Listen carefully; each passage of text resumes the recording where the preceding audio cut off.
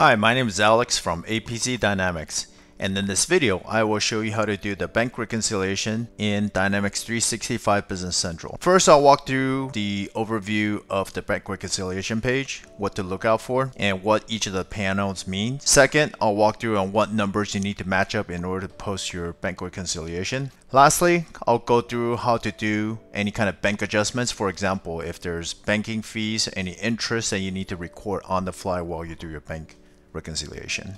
This is the general layout of the bank reconciliation page in Business Central. Essentially what you need to do is you need to match up the left side to the right side. So on the left side, I've uh, boxed it in pink.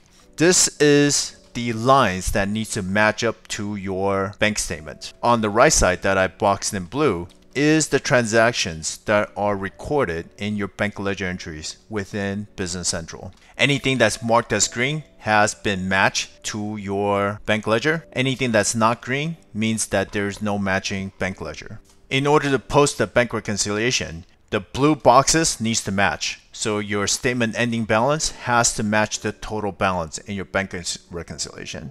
In addition, the total balance has to equal zero.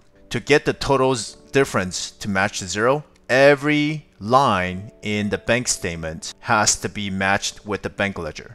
If it does not exist, you need to either remove it from the bank statement lines or you need to transfer the amount to the general journal so the transaction can be recorded into the bank ledger. To do the bank reconciliation in Business Central, bring up the bank accounts reconciliations page, click on new, do a drop down and select the bank that you wouldn't reconcile for. Now the, on the statement date, this should be the statement date on your bank statement. I'm gonna put in 12,000 as my bank statement ending balance. Next, what you can do is you can suggest lines. What the suggest line process does is it will replicate whatever you have on the bank ledger into the bank statement line. Or if you linked your bank account online, you could automatically download the bank statement from your bank through your bank portal. If you don't have your bank linked through the bank portal, you could also import the bank statement from a flat file. In this case, I'm just gonna click on suggest line. It's gonna ask you for a starting date and ending date. You would leave the starting date blank, so it would grab all of the transactions that has not been reconciled for,